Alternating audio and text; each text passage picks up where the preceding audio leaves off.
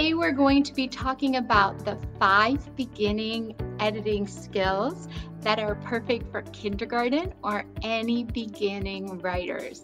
And I also say readers because most of the time your readers and your writers that are just starting to learn to use the language or the letter sound connections are the same in reading and writing. Before we begin, or while we're waiting for some friends to join us, if anyone is here live with me today, I would love it if you would put in the comments how you feel about editing with your students and how you do it.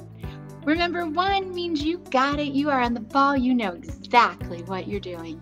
Then we say two is the silver, and twos are, yeah, you're pretty good, but you can use a few tips here or there.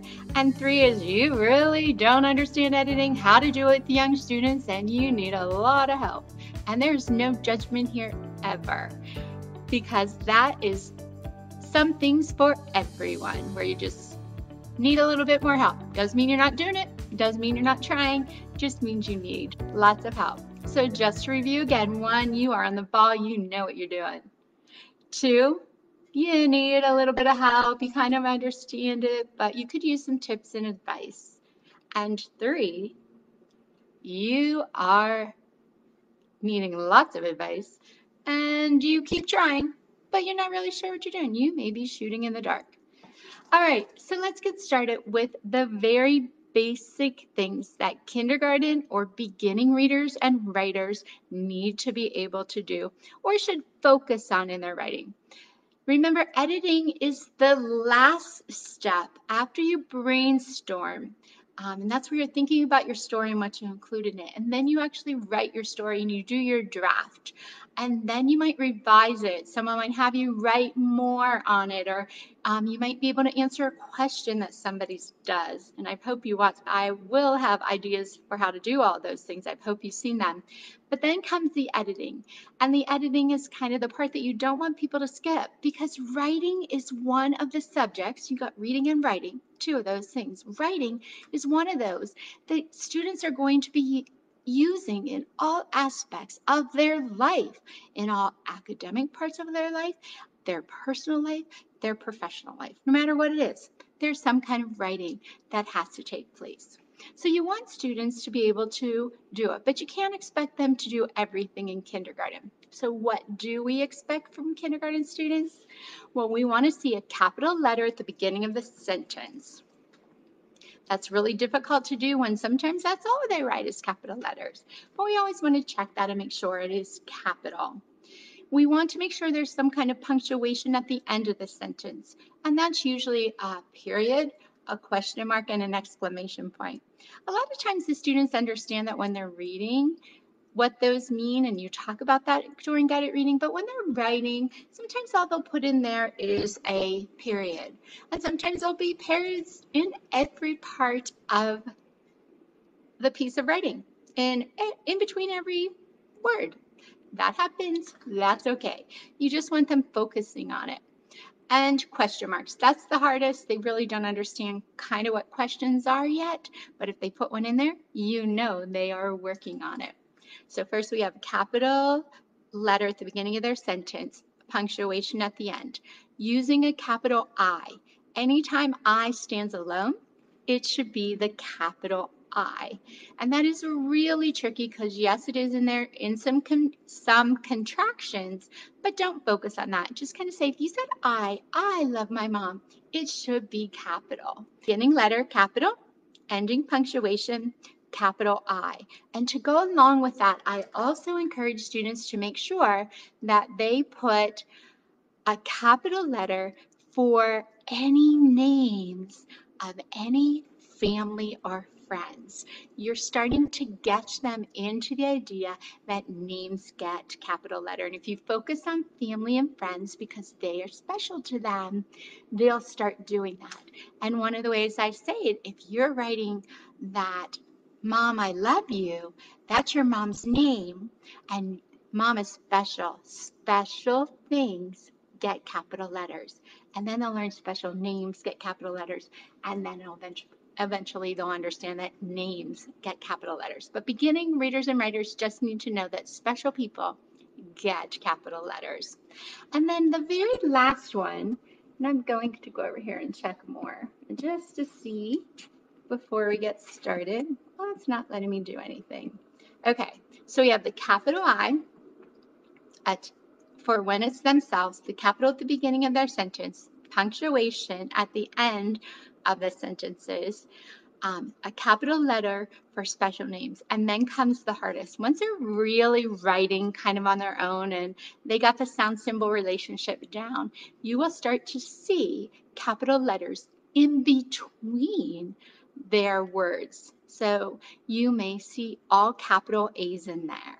Let, In fact, let me tell you a story. Just this week, one of my very best writers, this child can write a story at the beginning, and middle, and end. He's writing nonfiction stories. He spells almost every word correctly. I can actually pick it up and read about five or six sentences that he wrote easily. He had a capital A in everything. So we've been talking about that for a while. And um, in a few minutes, I'll explain how I have them edit and what I do in that procedure.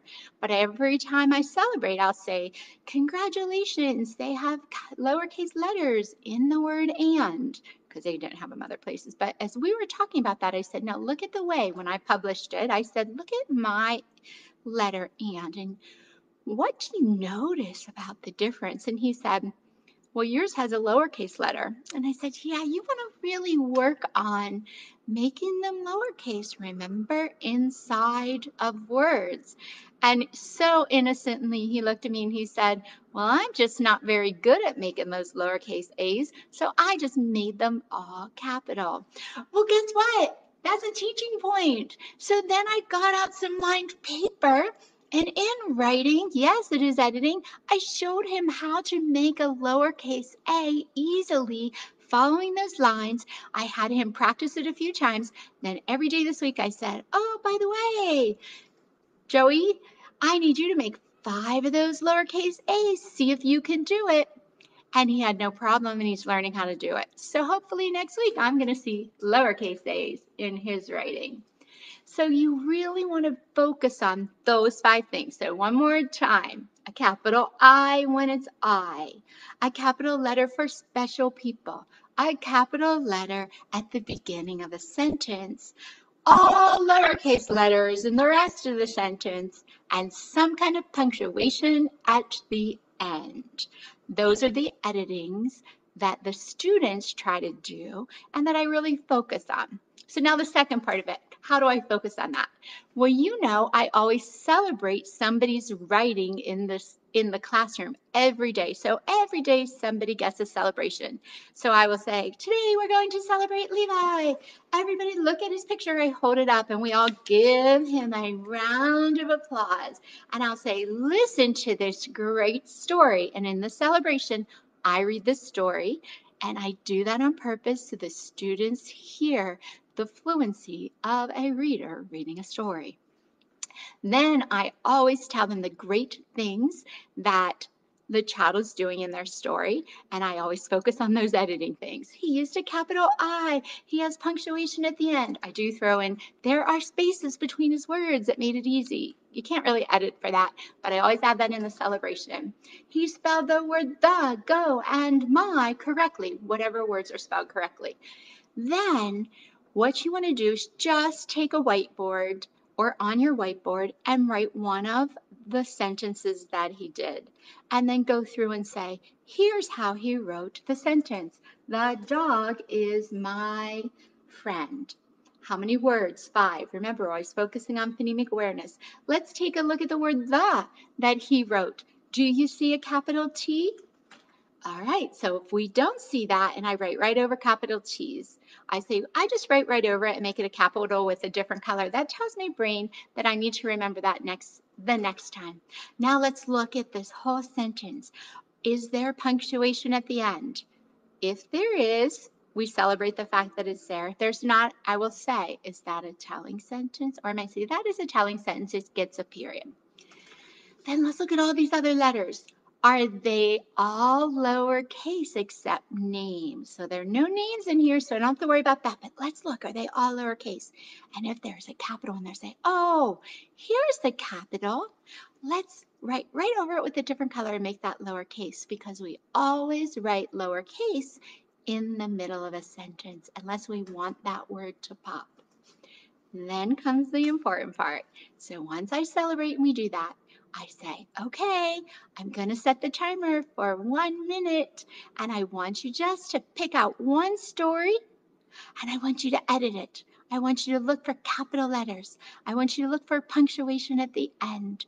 I want you to make sure it's all lowercase inside words and just write right over top of it. Are you ready? Ready, set, go. And sometimes it takes longer. As soon as I start to see them not paying attention and it's too much, I stop. It could be 30 seconds, it could be two minutes, depending on their attention. And then when they're finished, I'm like, okay, it's time to put those away and we're ready for our next fun activity. And tomorrow, when you write, try to remember all of those things. So the point is, you're letting them write and you're not worrying about it. Once they revise or they edit, they're sure it's ready to be finished, they want you to publish it and you underwrite it, you talk about those editing things. What are they? Capital letter at the beginning of the sentence, capital I when you're talking about yourself, capital letters for special people, that means special things to them, all other lowercase letters, and punctuation at the end of the sentence. Then you want to do a little mini model lesson, show them what it looked like, see if they can fix it, and also don't forget your celebrations. Remember, the writing process can be so easy. This is the part that we do just during writing time. We don't often worry about all of these things if we're writing in response to reading or we're writing in response to science or social studies or math. We just write to get our ideas on paper right now if you continue to really draw their attention to these five editing skills as they get into the upper grades, it will start to make a lot more sense when those teachers start explaining all the other important things that are in their writing. So once again, I'm Debora Marines. I hope you join me every Wednesday at 6:30 for a little teacher talk. If you want to DM me on Instagram or put a comment here or send me a message with any questions or um, things that you might need a little help on, I am always here and I will research it for you and find the answer. And your question may just be spotlighted here.